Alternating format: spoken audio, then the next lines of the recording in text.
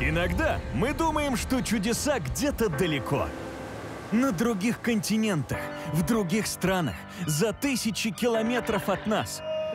Их очень сложно увидеть. Боже, какая чушь! Кажется, что сотрясается земля. А может быть все проще, и чудеса гораздо ближе, чем мы думаем. Мамочка! Регина Тодоренко и Тимур Родригес отправляются в путешествие по стране в поисках наших чудес.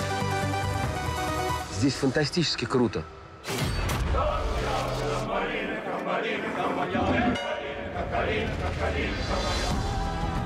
Десять уголков нашей страны.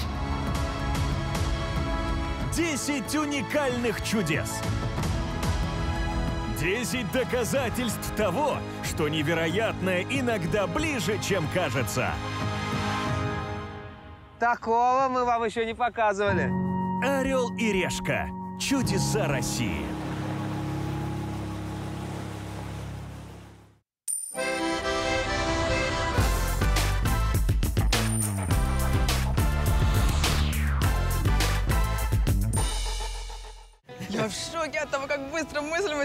Материализуется вообще. Привет, это Орел Решка. Помните, друзья, некоторое время назад мы с Региной были на Камчатке и загадали желание оказаться там снова. Мечты сбываются, мы на Камчатке. Представляете, это очень круто. И более того, мы сегодня даже не будем бросать монетку, потому что Регина в прошлый раз была с золотой картой. Очевидно, что с золотой картой в этот раз должен быть я. Не обнаглели ли вы, Тимур Михайлович? Что значит не будем бросать монетку? Не обнаглели ли вы, Регина Петровна? Что ты думаешь, что ты будешь второй раз с золотой картой? Эта программа называется «Не орел и Регина». А как ты себе представляешь, э, что я вот восходить буду на вулкан без золотой карты? Это вообще невозможно. А что ты планов-то настроила? Я не понял вообще. Я планов настроила, потому что я хочу туда попасть Так вообще. я тоже хочу туда Так и попасть. подкидываем монетку, орел. Решка.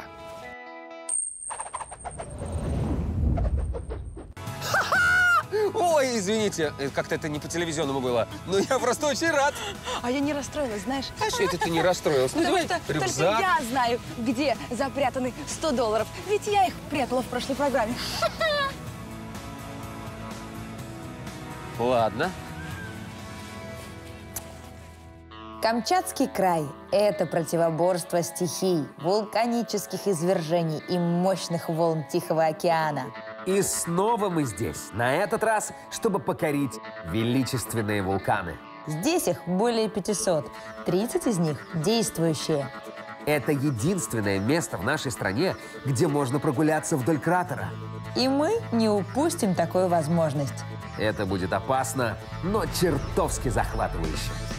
Ой, хорошо. Горячо! Это медведи. Уху! Я иду на вулкан! Ну ничего себе. Ради этого стоит жить.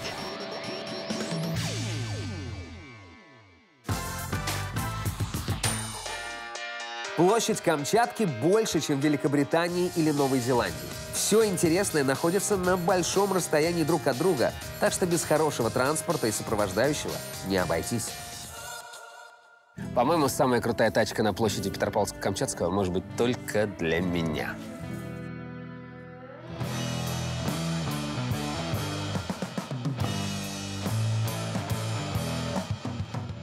В отличие от Регины Петровны, я не буду рассекать по Камчатке на вертолете. До нужных мне мест можно добраться и на внедорожнике. Заодно все пейзажи по дороге рассмотрю. Ну, все на борт! Внимание, внимание, Камчатка, всем постам. По городу передвигается. Очень голодная женщина. Особые приметы. Желтая жилетка, кожаные штаны и шерстяной носок, повязанный на голову. Это не носок! Это мне мама из рукава старого свитера связала. Ой, хорошо. Первым делом я заселюсь в свой отель. И поверьте, ничего подобного за оба сезона вы еще не видели. Знаете, какое самое распространенное желание у жителей планеты? Дом у подножья гор с видом на океан. Чтобы выходить утром и вкушать этот соленый запах. Посмотрите, у жителей Камчатки прям сбылось. Прям все сбылось. Зависть. Кстати, в Петропавловске-Камчатском не строят высокие дома, потому что здесь частенько бывают землетрясения. Зато посмотрите, какие тут яркие дома. Впервые В тревел-шоу «Орел и Решка» я делаю обзор детской площадки.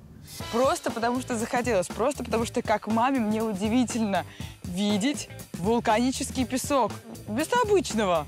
Круто, что здесь на Камчатке дети играют с вулканическим песком. What? А у вас всегда был вулканический песок на площадках, да? Круто. А вы знаете, что есть другой? Да? А такого у вас нет? Прикольно. А еще во время прогулки по Петропавловску-Камчатскому нельзя не пройтись по побережью Тихого океана. А Вачинская губа – главная артерия города. Здесь кипит жизнь. Корабли день и ночь проходят, гудят. А ночью светятся сотнями огней.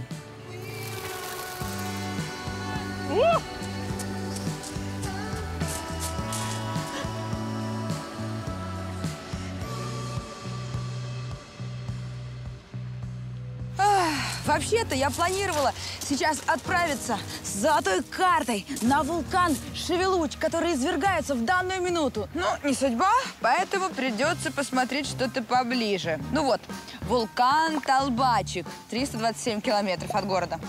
Ну, это я буду идти месяца два, наверное, может, больше. Так, о, вулкан Горелый Мутновский, 90 километров от города. Ну, далековато, я не успею. А есть домашний вулкан, Авачинский, всего 30 километров от города. Звучит как план. Осталось только понять, как туда добраться. Я что-нибудь придумаю.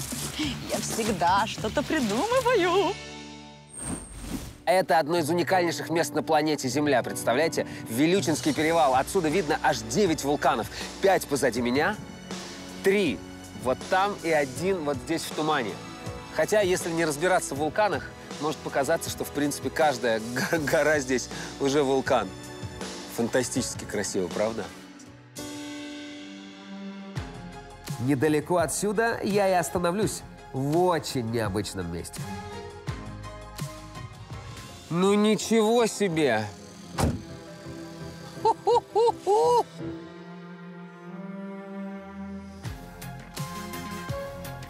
Вот он мой приют на сегодня. Глэмпинг Вилючи Кэмп. Это кемпинг со всеми удобствами. Тут несколько уютных белых домиков, и один сегодня будет моим. Главное здесь – виды.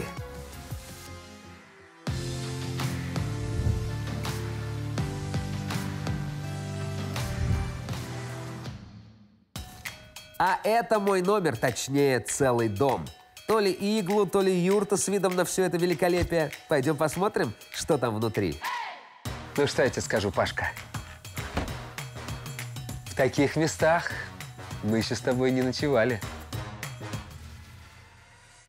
И правда юрта, овечьи шкуры, пушистые покрывала и подушки, расшитый ковер, а кроватей целых шесть.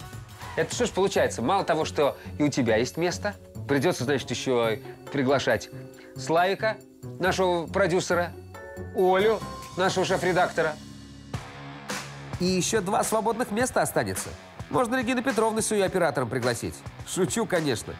А вообще, главное в нашем доме не кровати, а огромное панорамное окно. Нет, ты когда-нибудь такое видел? Ты подходишь к окну, а у тебя перед глазами вулкан. Мне уже не терпится его покорить. Кстати, про не терпится. Удобство тут тоже как в юрте, то есть на улице. Видите эти скворечники? Туалет как раз там. Сейчас наведаюсь туда и сразу поедем на вулканы. Не хочу откладывать свою главную цель. Для одних народов это зловещий дух. Для других народов это настоящий кормилец. Для ученых это просто неизведанная планета, которую можно изучать вечность. Вулканы! Что же это и в чем их сила? Перед восхождением на вулкан обязательно надо заглянуть в вулканариум, чтобы узнать побольше о том, как они устроены. Пойдем посмотрим. Здравствуйте. Мне нужен билет. Вы можете посетить музей наш с аудиогидом. Да. Можете также посетить музей с экскурсоводом. Это сколько? А, с экскурсоводом 1000 рублей. А с аудиогидом? 800 рублей. А если без аудиогида и без экскурсовода? Так нельзя. Ну ладно, возьму аудиогид. Кстати, музей прямо как я люблю, интерактивный. Здесь можно потрогать образцы горных пород и застывшую лаву. Это огромная вулканическая бомба. Вулканическая бомба из базальта. Это вулканическое стекло. И все эти камни вылетают из жерла вулкана во время извержения. Пудыщ! Вы представляете, получить таким по голове? Обалдеть! Извержения – явления столь же прекрасные, сколь и разрушительные. На Камчатке около 30 действующих вулканов, а Ключевская сопка – самый высокий и мощный на всем Евразийском континенте. Этот вулкан почти каждый год выбрасывает пепел, камни и даже лаву. В этом музее можно даже наглядно увидеть вулканические процессы. Вот, например, имитация извержения – Вода закипает, лава закипает, магма выбирается наружу. Бу! Бу! Извините. А еще ученые предполагают, что именно благодаря вулканам появился фотосинтез. Питательные вещества после извержений попадали в реки и землю, что помогло одноклеточным организмам создавать кислород. Оказывается, на вулканических камнях появляются первые живые организмы, лишайники, а потом из них уже вырастают более понятные для нашего глаза э, растения. Вот всякие, как это, меланелия, ягель. Я даже не знала об этом. Здорово, что я сюда заглянула. Ставлю музею пятерочку. Ну и чтобы злые духи вулкана нас не тронули, напоследок Отгоним их, и пускай вулкан спит.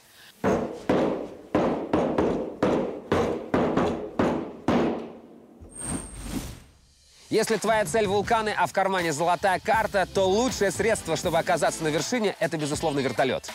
Но мне кажется, это как-то не по-приключенчески и, в конце концов, даже не по-мужски, потому что горы надо покорять на своих двоих. Но добраться к ним нужно на чем-то серьезном. Вот мой новый аппарат, а вот мой супер вип-гид. Привет! Добрый день. Я Тимур. Павел. Ну что, куда мы отправимся? Вулкан Горелый. Это величественный действующий вулкан в 90 километрах от Петропавловска-Камчатского. Говорят, что восхождение на него несложное и зрелищное. То, что нужно для такого начинающего покорителя вулканов, как я. Машины меняю, как перчатки. Ох! Туда, куда мы едем, нужна спецтехника. Обратите внимание на колеса, они чуть-чуть спущены. Вы думаете, это случайность? Ничего подобного. По тем дорогам, по которым мы будем добираться до Горелого, лучше приспустить колеса. Именно таким образом мы будем проходить все кочки максимально плавно. Нас, конечно, будет немного трясти, но разве что от удовольствия. В путь! Какие же тут пейзажи за окном, не устаю удивляться. А то, что я увижу во время восхождения, должно поразить меня еще больше. Сейчас увидим. Полтора часа в пути, и мы на месте. Вооружаемся палками для удобства и вперед покорять вулкан. Важно делать это с проводником. Это быстрее и безопаснее. А еще гид может показать самые красивые виды. Сколько немного мы пришли, Ага. а вид уже открылся какой красивый. Ничего себе. Да, ощущение, что мы идем совсем недолго, но мы уже по факту достаточно высоко. Весь путь займет часа два-три, пока успею рассказать вам про Горелый. Этому вулкану примерно 40 тысяч лет. Сейчас он дремлет, но за последние 150 лет извергался семь раз, и пепел от некоторых извержений находили и в Петропавловске-Камчатском, и даже в Тихом океане. Представляете эту мощь?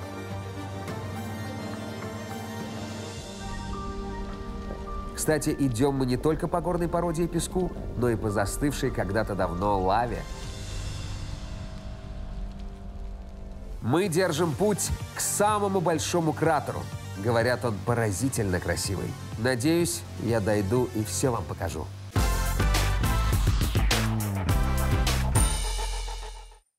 На Камчатке очень сложно найти жилье, просто потому что спрос превышает предложение.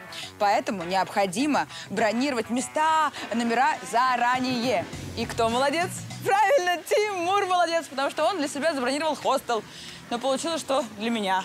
Посмотрим, что он там набронировал. На вулкане я сегодня уже не побываю, зато хотя бы в нем посплю. Ведь хостел так и называется – «Вулкан». Только вот Тимур забронировал место, но не указал, в какой комнате. А какие есть варианты? Сколько места у нас есть в многоместных номерах 1600. Есть Ага. четырехместный номер, там 1650 и двухместный 1750. Но у нас сейчас большой заезд, я вам Да ладно. Luxury условия. И он отличается по цене на сколько? 50 рублей. Да ладно. Беру, беру, конечно, беру. Кстати, хостел очень просторный, в стиле минимализм. И еще он идеально подходит для путешествий по первозданной природе Камчатки. Здесь у нас доступе круглосуточно машинки. Такие кронштейны большие у нас для туристов специально, для палаток, для крупногабаритных вещей. Да ладно, чтобы сушить здесь? Да. И батарея специально для обуви, для трекинговой. Есть Офигеть, вот такого я нигде еще не видела. Слушайте, реально для путешественника, который возвращается из какого-то трекингового тура, не знаю, похода или восхождения после вулкана, и такая батарея просто необходима. Потому что тебе, а, нужно просушить хотя бы свою обувь огромную, б, палатку и спальник. Вот это кайф. Это очень нужная штука такого. Я еще нигде в хостелах не видела. Раз на вулкан я сегодня не поднимусь, то загляну в свой карманный гид.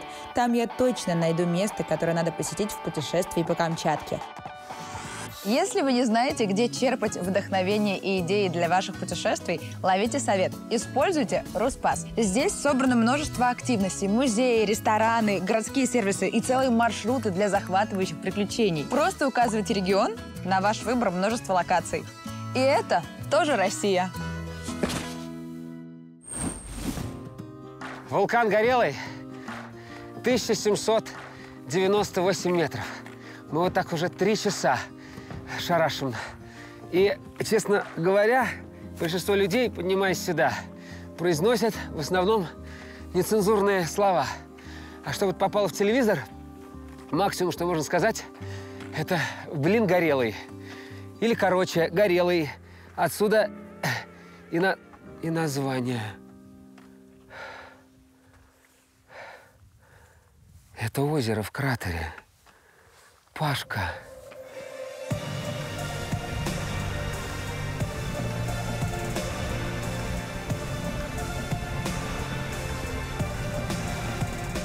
Это одно из самых красивых мест, которые я когда-либо видел.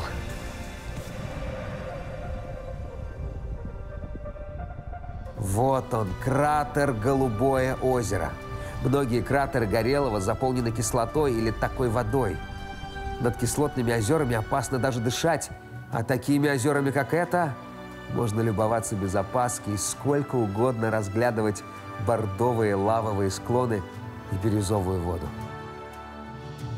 Это просто невероятно. Вот они, чудеса России. Я ужасно горд собой. Покорить вулкан в первый день на Камчатке – это вам не хухры-мухры. Пусть даже это и не самая его вершина. А пиком Горелого считается вот тот выступ. И он уже 1828 метров. Но оттуда не открывается такой шикарный вид. Подниматься туда, в принципе, э, только ради галки. А меня еще столько всего, чтобы я хотел вам показать, поэтому пойдем-ка, Пашка, вниз. Я кое-что приготовил. Следующая точка моего путешествия – настоящее вулканическое чудо. Там бурлящие потоки воды, повсюду раскаленный пар, и даже по земле горячо ходить. Уже догадались, о чем я? Я сейчас очень хочу поехать в Малую долину гейзеров и пообедать. Однажды я уже варила себе еду в гейзере, в Исландии. Почему бы не повторить это на Камчатке? Скорее бы, а? Правда, я не знаю, каково здесь автостопом, ведь гейзеры в 60 километрах отсюда. Остановись! Тебя вон место свободно одно. Пожалуйста. Оказывается, автостоп на Камчатке – дело сложное. Особенно э, в сезон, когда здесь полно туристов. Поэтому не повторяйте моих ошибок. И планируйте, куда и как будете добираться заранее. До Малой долины гейзеров довези! Парень! Да что же это такое? Ну хоть кто-нибудь. Неужели я сегодня никуда не доеду? Здравствуйте, скажите, а вы до Малой долины гейзеров случайно не довезете меня? Чисто случайно довезу. А вы прямо в ту сторону направляетесь? Да, прям в ту сторону я там работаю. Вы шутите? Прям берете меня? Прям беру. Спасибо. Ну, наконец-то, удача мне улыбнулась. Бинго! Моего спасителя зовут Александр. Он остановился здесь, чтобы немного спустить колеса. Так будет меньше трясти в дороге. Так, а может вам помочь колеса спустить? Да, было бы неплохо. Да, давайте. Что делать Вот надо? у меня есть специальный ключик. Да. И сколько так жать? Вот, вот так. Ну, я подойду, проверю. Ага. Пока давление не будет 0,8. У меня так скоро яйца сварятся в рюкзаке. А потом еще и ноги. Ничего, потерплю. Зато доеду до долины. И бесплатно. Вулкан я уже покорил, но мне хочется посмотреть и на другие. Времени у меня мало, на восхождение каждому не хватит, но выход есть. Я же на Камчатке, а это место, в котором надо получать истинное наслаждение от всех ее красот. Я полечу вот на этой штуке. Привет. Здравствуйте, Я Тимур. Саша. Очень приятно. Ну что, мне сказали, что вы э, пилот высокого класса. О, мастер, ты еще, еще какой. Это тележка с пропеллером и парашютом. Пара трайк. Регина летала на такой в Перми. Я, конечно, не такой любитель экстрима, как Петровна. Мне вообще дико страшно. Но долг ведущего обязывает меня взмыть в небо. Ведь я с высоты птичьего полета смогу увидеть и показать вам три вулкана одновременно. Если повезет. Я человек, который боится высоты. И мне не стыдно в этом признаться. И делать это я сейчас буду не для того, чтобы победить собственный страх, а для того, чтобы показать вам Камчатку еще с одной прекрасной точки. Сколько вы... Да невысоко, там 100 метров. Я прям в глазах вижу, что минимум 300. Ну ничего, доверюсь. Так, твое место спереди, все виды твои. Спасибо. Ох, заводим двигатель и в путь.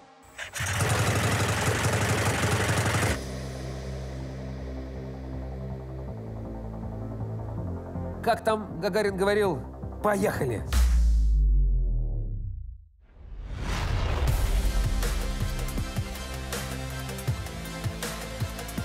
Первые пару минут полета чувствуется только ужас, ведь между тобой и небом нет вообще ничего, кроме пары ремней безопасности.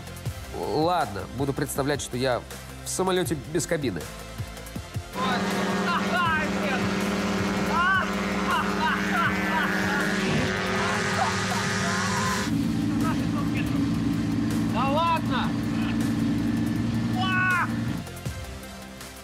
А ведь говорил, что будет 100. Я никогда не поднимался на такую высоту на чем-то, кроме самолета. Но зато с такой высоты Камчатский край, как на ладони, отсюда видно домашние вулканы – Авачинский, Корякский и Козельский. Их так называют потому, что они находятся всего в нескольких десятках километров от Петропавловска-Камчатского. Мне периодически страшно, но очень круто. А теперь самая красивая часть нашего полета. Ребята, мы летим над океаном. Вы можете себе представить? Это просто нереально. А сейчас мы спускаемся ниже так, что соленые брызги касаются лица, а волны совсем близко. Это непередаваемое ощущение. Высота перестает казаться опасной, чувствуется только чистый кайф. И хоть я решился на полет не для того, чтобы победить свой страх, мне это все-таки удалось.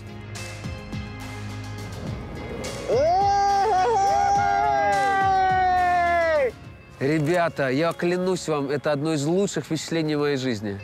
И вот по силе а, кайфа, который я испытал во время полета, их было таких, наверное, я не знаю, на пальцах одной руки уместится. Я никогда еще не летал над океаном вот так, чтобы я фактически мог до него дотянуться.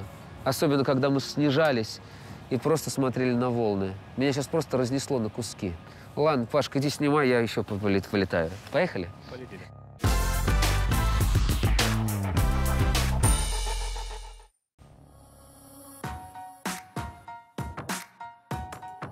Дорога до гейзеров одновременно очень тяжелая и очень красивая. Каждые 20 минут за окном новый вид. Сначала зеленые луга, потом марсианские пейзажи. Иногда трясет так, что даже сдутые колеса не помогают.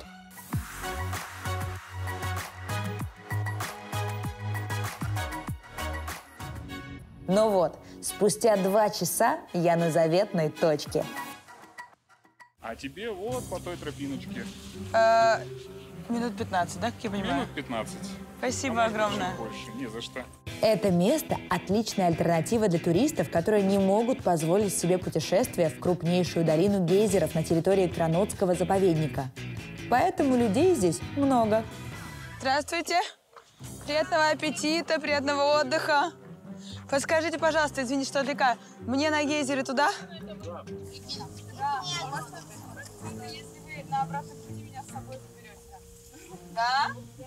Обещаете? Быстренько фоточку запилили, раз чик-пык договорились о проезде обратно. Сразу на душе спокойнее, а то я переживала, как буду добираться обратно в город. Супер! Та самая долина гейзеров находится возле крупнейшей геотермальной станции России. Она преобразует тепло воды в электроэнергию и питает около 30% населения Камчатки. А по дороге видишь удивительные пейзажи, живописные холмы, ледники, водопады. Добро пожаловать в малую долину гейзеров. Выглядит потрясающе, прям безупречно. Жаль, что запах не передается. Ну-ка, быстренько зайдите в туалет, вы почувствуете, что чувствую я. Находиться здесь довольно тяжело из-за едкого запаха сероводорода. Уже даже слегка голова кружится. Но зато увижу своими глазами это природное чудо. А! О, ну градусов 70, наверное. 60. Смотрите, как кипит, бурлит, вот как суп. Земля такая горячая. Хоть бери, в ней и томи мясо. Или массаж горячими камнями делай. Горит, как будто земля. Вот чувствуется, что под ней прям какие-то процессы идут, что-то томится, томится. Здесь прямо можно проводить открытый урок химии. Кислотные ручьи, разноцветные кипящие лужицы. В сантиметре друг от друга находится э, горная река, в которой вода холодная, и гейзеры, которых вода просто горяченная. Ну, пора бы найти водоем погорячее, чтобы быстренько сварилась еда. Класс! А, горячо! А, как горячо! А, очень горячо! Отходите подальше, кстати! Думаю, пяти минут хватит, чтобы приготовить обед. Сосиска. А, горячая! А, какая горячая! И яичко. Боже, она раскаленная. И лично от меня декор. Высокая молекулярная кухня. Почти Мишлен. Остается почистить и попробовать. Вот прям пахнет тухлым яичком. Тоже чуть попахивает, но вообще идеально сваренная сосиска. Но, друзья мои, обедать я передумала. Потому что а, мой попутчик Александр рассказал мне, что на самом деле это не гейзеры. Малая долина гейзеров – это такая туристическая замануха, на которую даже я повелась. На самом деле это все фумаролы, в которых содержится малое количество ртути и мышьяка. А вода закипает из-за горячих газов, которые выбиваются из-под земли сквозь холодный ручей. Неискушенный турист не будет разбираться. Бурлит, дымит, чем не гейзер. Поэтому не повторяйте моих ошибок. И мусор после себя убирайте. Хоть и не поела, ну, ничего страшного. Зато сколько впечатлений. Теперь пора думать, как попасть на настоящий вулкан. После этого, я не побоюсь этого слова, вулкана эмоций, казалось бы, ну что может еще со мной произойти, чтобы сделать меня еще более счастливым? Есть кое-что. Это мог бы быть рояль в кустах, но меня ждет трапеза с видом на Тихий океан. В прошлый раз на Камчатке Регина пробовала местные деликатесы. А теперь моя очередь. Сам шеф-повар ресторана Forest Lodge. Попробуйте наши изыски. Камчатского края дары. Спасибо огромное. Спасибо. О, я обожаю это все. Это ассорти сашими. Палтус, гребешок, лосось и осьминог. А еще икра морского ежа. Просто кладезь витаминов. Ой, как это хорошо, боже. Все невероятно свежее и нереально вкусное. М. Рената Литвинова после такой трапезы сказала бы, я летаю, я в раю. Поэтому сегодня я летал, а сейчас я в раю. Я готов попробовать следующее блюдо. Это дальневосточный трубач. О, боже, о, боже. Высоко. Трубач – это моллюск-деликатес. Его так называют потому, что его закрученные раковины раньше использовали как сигнальные рожки. Мясо у трубача очень нежное и сочное. Как же вкусно, боже мой. Пару таких укусов и... Все, теперь я тоже трубач. Ну и куда же без главного деликатеса Камчатского края? Контрольный выс- выстрел в голову. Этот краб еще 10 минут плавал там. Узнал, что здесь Тимур. Я хочу к нему.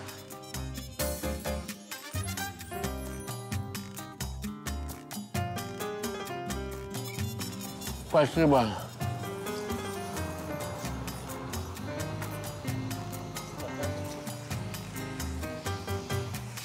До свидания. Ребята, это лучший краб, которого я ел в своей жизни. Лучший. Свежий, сочный, нежнейший. Вы еще представить не можете, насколько это вкусно.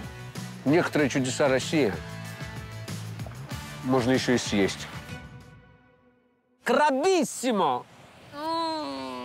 Ах. Как же хорошо! Вкуснейшие морепродукты, розовый закат, шум Тихого океана. Кажется, такое возможно только здесь. Жить в России и не побывать на Камчатке, мне кажется абсолютно неправильным. Не следуйте моему примеру. Я слишком поздно оказался здесь. Даже после стольких рассказов о том, как здесь хорошо. Камчатка – это рай.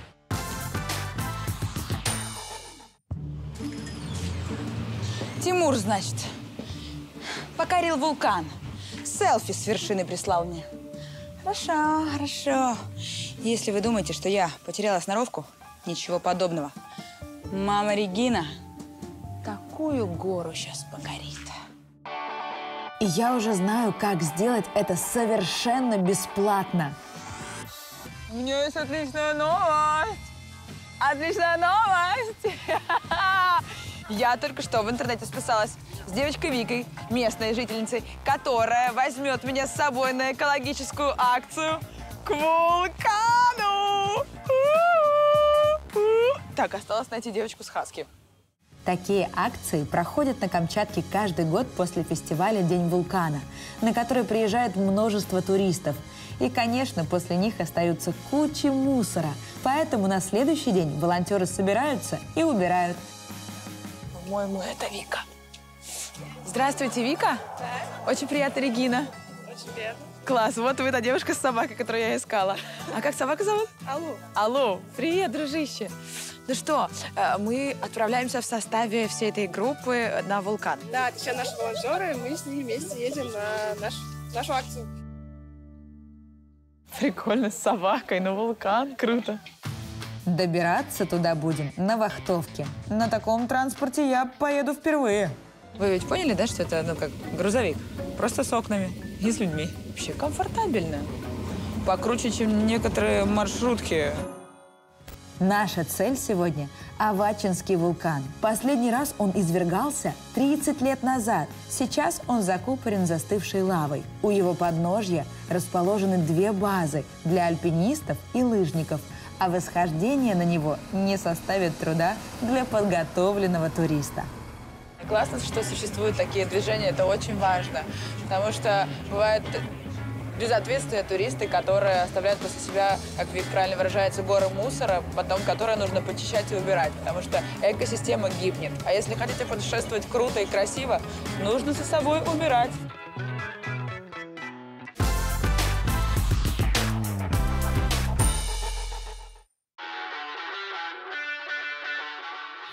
Ну что, судя по всему, у меня серьезная болезнь. Называется она вулканомания.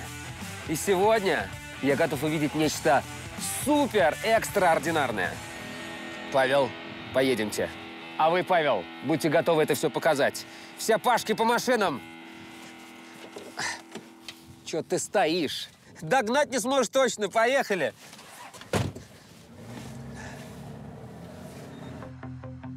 Как думаете, что меня ждет? Конечно же, еще один вулкан. На этот раз Мутновский. Этот исполин – один из самых активных и древнейших вулканов на Камчатке. Это одно из самых крупных геотермальных месторождений в мире. Значит, сегодня я увижу фурмаролы. Это почти гейзеры. Виды обещают быть очень крутыми. О, стой, стой, стой! Это, это медведи! Пашка, снимай! Обалдеть! Ты знаешь, чему я удивлен больше всего? Тому, что когда мы ехали туда, здесь шли люди. И где они теперь?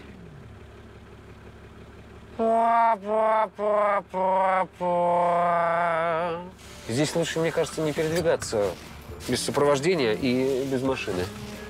Господи, ну они ужасно милые, но это очень опасно, друзья. Путь к Авачинскому вулкану, который нам предстоит убирать, проходит через русло высохшей реки. И это своего рода местная достопримечательность.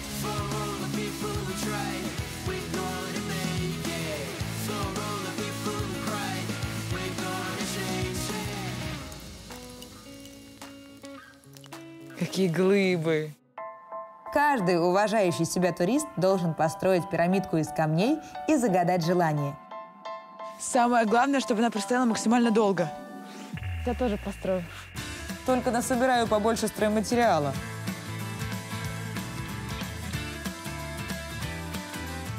Смотрите, какая вулканическая порода.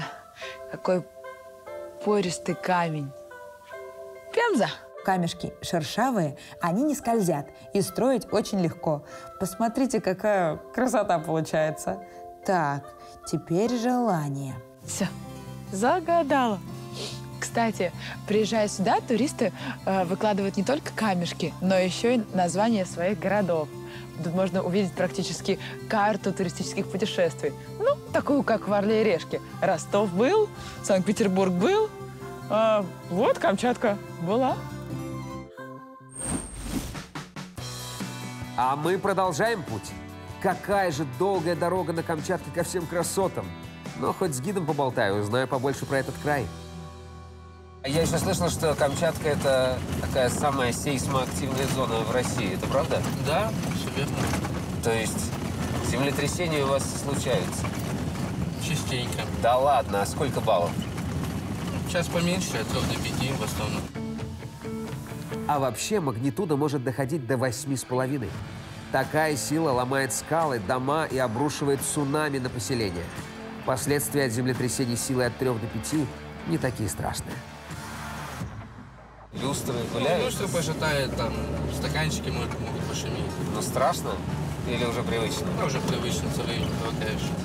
А как часто извергаются вулканы? Прям такой нету статистики, но сейчас Шевелуч начал извергаться. Ничего себе. Сильное извержение? Ну, прям с лавой, с побочным кратером. Обалдеть. И правда, Камчатка – удивительно суровый край, где господствует природа. Я восхищаюсь бесстрашными людьми, которые здесь живут. А может, местная красота заставляет забывать обо всех страхах? Знаешь, что меня разрывает? Мы едем уже минут 40, а каждые 10 минут местность как будто меняется. И на каждой точке, которую мы проехали, можно было снимать какой-то новый фильм. Можно было снять «Марсианина», «Джанго освобожденный», «Мир Дикого Запада», «Безумный Макс» и еще кучу всего. И это, конечно, поражает. Павел, а это кто-то поставил чайник и ждет нас к обеду или что это? Да, фумарола выброс с, с активного кратера. А едем мы именно к этому кратеру? А это не опасно? Просто красиво. Слышал. Так что ватрушку попроще. Успокойся, все будет хорошо.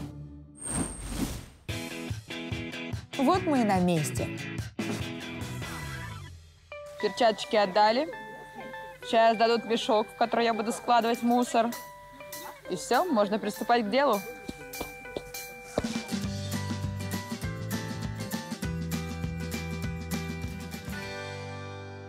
Мы все идем, идем, а мусора по дороге на вулкан я что-то не вижу.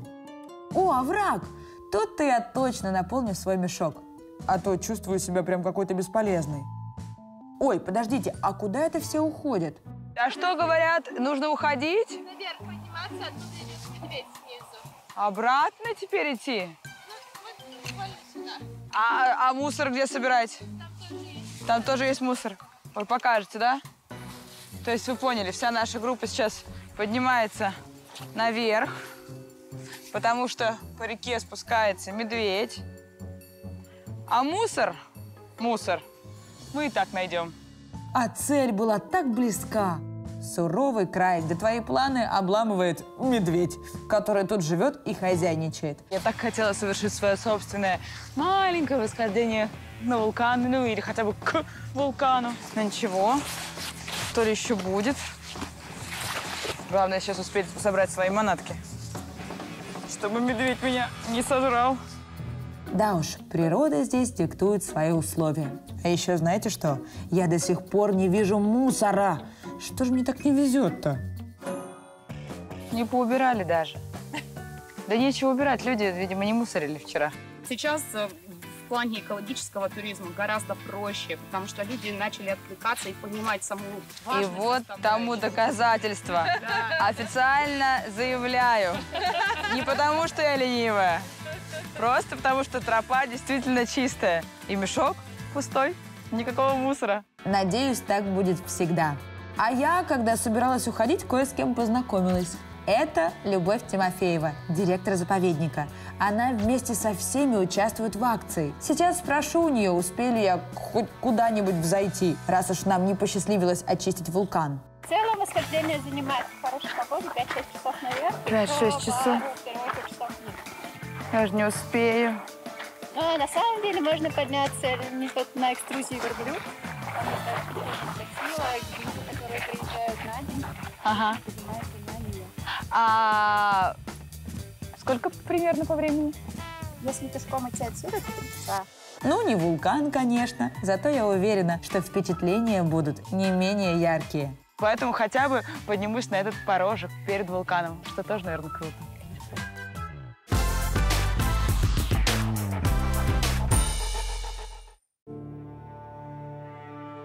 Кажется, мы уже подъезжаем к цели. Наша долгая дорога к вулкану Мутновскому подходит к концу. Дальше идем пешочком. Идем наверх. А сколько подниматься? Часик. Ой, Ну, а если быть честным... Ну, подольше. Я понял. Поднимемся на 1860. Прям туда, к активному кратеру? Да. Кайф. Снова вооружаемся палками и вперед. Так, левая рука, правая нога. И Ага. после как идем. Я понял. Как обычная ходьба. Как обычная ходьба, и ты сразу начинаешь забывать просто, как ты обычно ходишь, и начинается вот это вот. Идиотизм. И снова виды сменяются, как в калейдоскопе. Подъезжали мы к зеленым склонам, а сейчас идем по рыжим марсианским пескам. Ну что, мы 40 минут поднимались, позади самый сложный подъем. А такое ощущение, что до дымящегося кратера идти два дня. Да нет, это только если вперед идти, в лоб прямо. А мы пойдем? Сбоку обойдем его. Тогда восхождение займет пару часов. Но идти и правда легче, хоть ноги и устают жутко. Еще бы, два дня подряд куда-то карабкаться. Я уже почти на вершине, дальше пойду только с одним Пашкой. А пейзаж, между тем, снова меняется. Идешь как будто по территории Вилливонки. И, все вокруг это торт-муравейник. Так и хочется сказать, что красота не земная, но по факту еще какая земная. Более того, это наша с вами красота. Это чудеса России, друзья. Вперед! Главное – не провалиться в расщелину. За красотой Камчатки так легко забываешь о том, какой это суровый край. Это ледник даже не толщиной называется, а выс- высотой в несколько метров. И он же сходит периодически. Надеюсь, не сегодня. Я вижу нашу цель. Вот оно, фурмарольное поле. Фурмарола – это источник горячих газов. Здесь магма подогревает сероводород до такой температуры, что он вырывается наружу из недр Земли. Вау! Где я?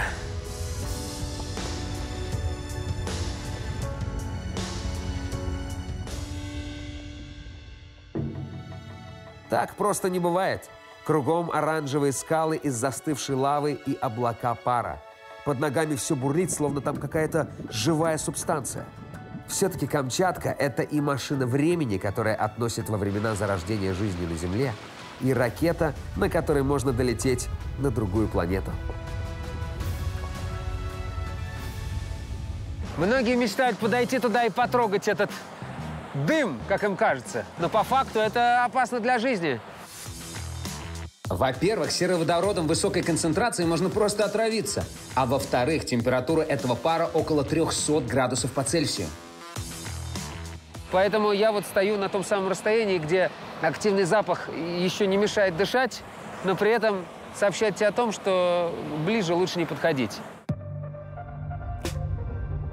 Но красота вокруг стоит и того, чтобы подышать сероводородом и чтобы идти по каменистым склонам несколько часов.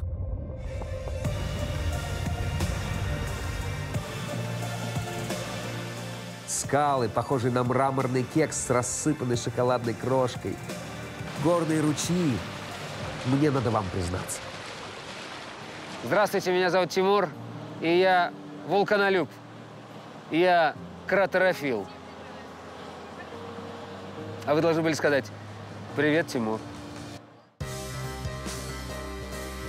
Как жаль, что приходится сказать только «пока, Камчатка». Времени у меня остается только на то, чтобы спуститься обратно к нашему джипу и успеть на встречу с Региной. А если вы хотите также интересно провести здесь время, то обратите внимание на этот онлайн-сервис. Перед посещением Камчатки загляните в онлайн-журнал на Руспас. Всего в одной статье собрана вся полезная информация. А их здесь сотни. Куда ехать, когда ехать и, главное, что привезти в подарок родным. Согласитесь, что удобно черпать всю полезную информацию из проверенного источника. Пользуйтесь! Увидимся на Камчатке! Покорять я сегодня буду экструзию верблюд. Поэтому скорее беру снаряжение и в путь. Ничто меня не остановит. Уху! Я иду на вулкан! А, нет, я не иду на вулкан. Я иду на экструзию верблюд. Звучит пафоснее. Экструзия верблюд – это такой скальный массив из застывшей лавы. Иногда ее называют недовулканом, как раз из-за таких туристов, как я, которые хотели подняться прямо к жерлу на высоту 3000 метров, но в итоге не спеша идут на небольшую гору. Подниматься очень неудобно. Почва рыхлая. Этот вулканический песок такой мягкий, в нем ноги погрязают прям. Да, вулкан осилить было бы сложно. Подниматься вверх несколько часов без остановки по рыхлой породе – целое испытание. На камнях будьте очень осторожны. Важно несколько раз перепроверить, насколько стабильно он стоит, чтобы ваша нога случайно не наступила на шатающийся камень, и вы вместе с этим, с этим камнем уху, вон туда, аж до Петропавловска-Камчатского.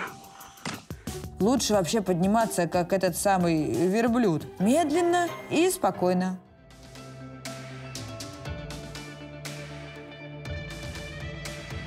Есть ощущение, знаете, будто если сейчас палки отпустить, то я буду парить над землей. Ножки просто вот такие ватные после подъема. Даже не, ну, в них такая легкость чувствуется. И вот стоит только сделать так, я буду порхать. Так приходится пока что своими двумя добираться. Тяжело. Осталось совсем немного. Последние шаги самые сложные. Но когда, наконец, поднимаешься наверх, об усталости напрочь забываешь. Ради этого стоит жить. А -ха -ха. Я так часто напоминаю о том, что мне есть с чем сравнить. И вот этот холм похож на Новую Зеландию, а тот на Норвегию. Но Нет такого места на Земле. Идентично похожего нет. Только здесь, на Камчатке, можно увидеть эту красоту. Награда за покорение горы – этот потрясающий вид, неземной, словно декорация из фантастического фильма про другую планету. И в такие моменты понимаешь, как важно эту природу беречь. Камчатка, ты чудо России!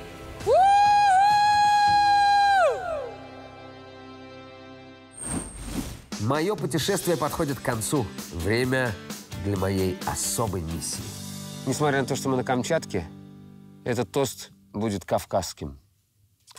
Потому что высоко-высоко в горах, посреди красивейшего плато, в окружении девяти вулканов, один маленький, но пожилой мальчик достал из кармана 100 долларов и спрятал их в большую бутылку, которую он мог бы налить вкусного вина и выпить за здоровье зрителей «Орла и решки». Но он лучше положит туда эти 100 долларов, чтобы тот, кто нашел их, сам решил, на что он их потратит. Поэтому здесь, на Вилючинском перевале, я желаю тебе, кем бы ты ни был, подняться высоко, чтобы спуститься красиво. Ну что, я пошел прятать. Вот она, бутылка. Вот 100 долларов. Не видно. Ищите клад от Орла и Решки на Вилючинском перевале в зарослях можжевельника. Следите за координатами и удачи, мои горные пираты! За два дня на Камчатке мы поняли, почему этот суровый и далекий край так манит. Это просто невероятно. Ведь здесь земли накаляют потоки лавы и бушующие гейзеры. Горит, как будто земля. А с вершин огнедышащих гор Камчатка напоминает инопланетную Сахару, где пейзаж создан из пепла. Вау! И кипящих, затянутых раскаленным паром полей. Горячо! В этот уикенд мне удалось по камчатским меркам довольно бюджетно отдохнуть. Ну ничего себе! А я со 100 долларами увидела такую красоту, которую ни одна камера не сможет передать. Это просто надо увидеть своими глазами. Это какая-то немыслимая красота. А давай мы с тобой вместе навсегда Километры, часовые пояса Самолеты, авто и звезды Ориона Мы с тобой всегда вместе, с тобой везде я дома Камчатка, ты чудо России!